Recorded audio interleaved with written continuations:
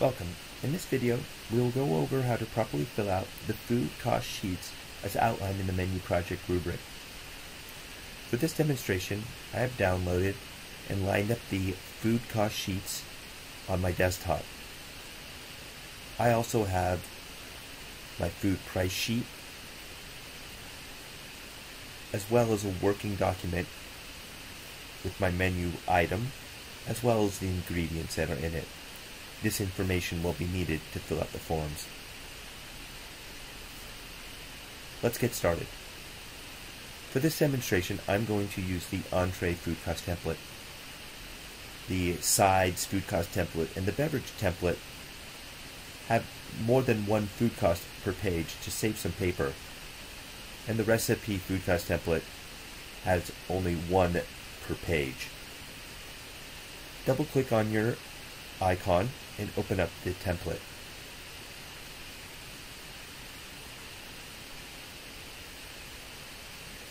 The first thing you're going to need to do is to rename the template. You're going to want to use this file over and over again. The file that you receive won't have the colors in it, which will make it less costly to print. To save each individual item, my suggestion would be to name it after the menu item. Going to File, Save As. I'm going to save to the same location where I opened the file from, but I'm going to change the name to Entree. Lunch. California. Bacon. Burger. And hit save. You won't get this error as this formatting won't be on your file. You can see up top that the new name for the template is my entree item. Alright, let's start filling this out.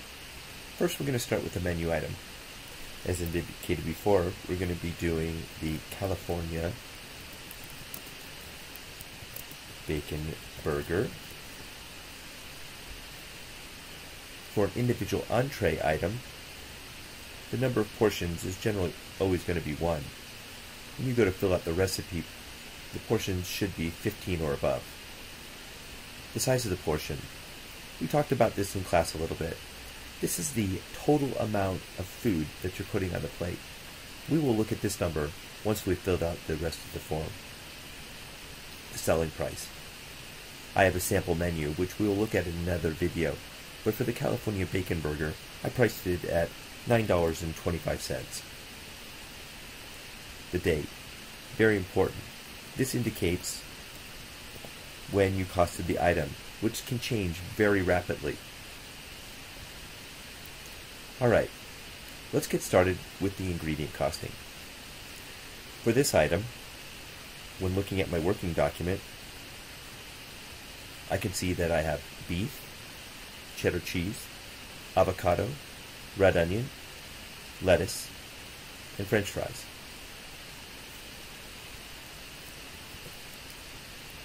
Beef. I'm going to put in the 80-20 that indicates the type of meat, 80% lean meat to 20% fat.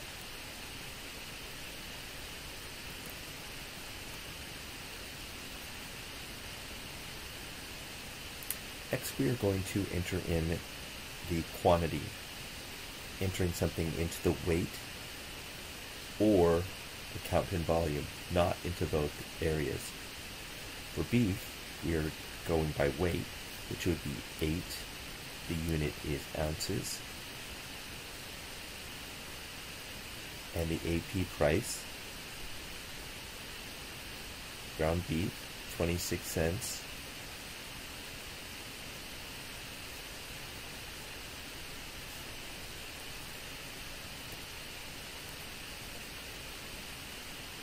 At this point, you can see that these prices won't calculate until you put something in the yield box. For this, we'll assume that we bought the product ground, and it has a 98% yield ratio. At this point, you can see that there was a slight increase in the price. The overall cost for the 8 ounces of meat has been calculated to $2.12. The subtotal cost of the recipe at this point is $2.14 to indicate the 1% of cost factor. And without adding anything else to this plate, our current cost percentage is 23.17%. If we didn't add any cost to the recipe at this point, we would be running a 23.17% food cost. But now we're going to add the other cost of the items. The cheese was shredded and we did it by weight, two ounces. And our food price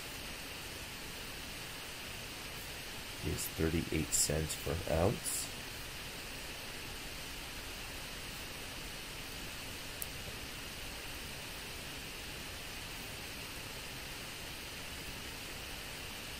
Assume that we get approximately 98% out of our shredded cheese. The onion, we are not doing the onion by weight, we're doing it by volume, which is one slice. It's a count. And on our food cost sheet, we've calculated one slice of onion is three cents.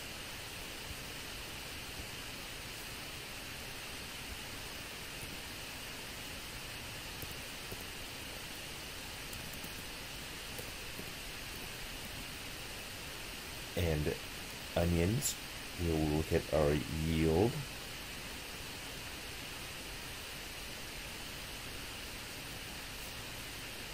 red mediums have an 89% yield. 89%. You'll see the price doesn't change because the yield is so insignificant. Leaf of lettuce is also a count, one each.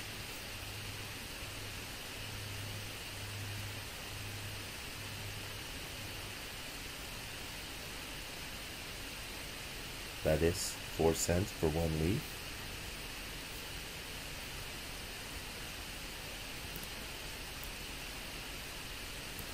Zero four. Go back to our produce yield chart.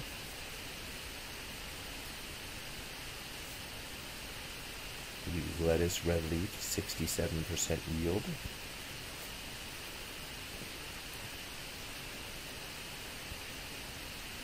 Bun. Generally, you're going to buy buns by the count. We'll put one each. And we'll look to the food price sheet.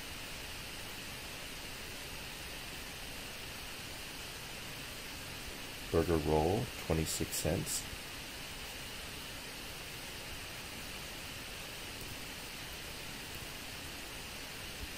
Going to assume that we get 100% yield out of our pre-bought burgers. For avocado, we're going to do avocado by the count. So one avocado, we cost it out. We're going to use 0.25 avocados each. The as purchase price for each avocado is $1.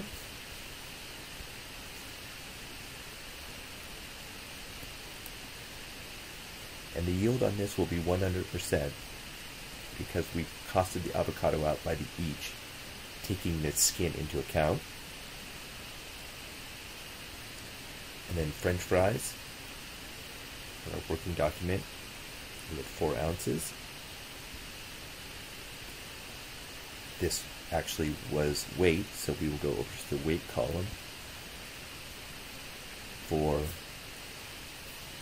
ounces Uh, as purchase price.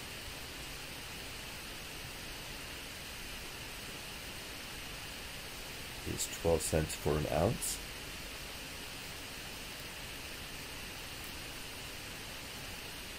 I'm going to assume 100% yield out of our frozen french fries. The final cost for the total recipe is $4.02.